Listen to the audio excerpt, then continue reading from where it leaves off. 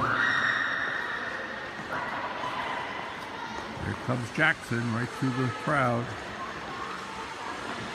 And AJ's heading my way too.